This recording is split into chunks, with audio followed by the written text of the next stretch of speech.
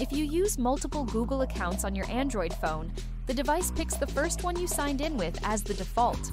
This account will be used across all apps, like Play Store, Gmail, and Google Drive. But what if you want to change the default account? Here's how you can do it. Step 1. Make sure the new Google account you want to use is added to your phone. Open Settings,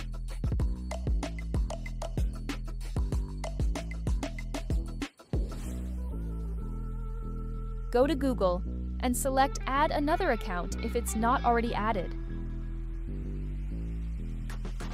Step 2. Remove all other Google accounts from your phone.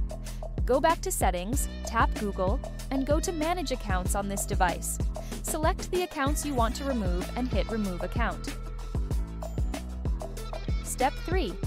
Add your other Google accounts back if you need them.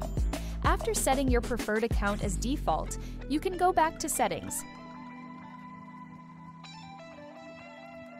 and add the other accounts you removed. Now, your device will use your preferred account as the default across all Google apps.